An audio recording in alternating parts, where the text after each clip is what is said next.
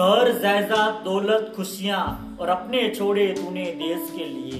कर जायदाद, दौलत, खुशियाँ और अपने छोड़े तूने देश के लिए। फक्र है तुझ जैसी औलाद पे मुझे, जो देश के लिए जिए और देश के लिए मरे।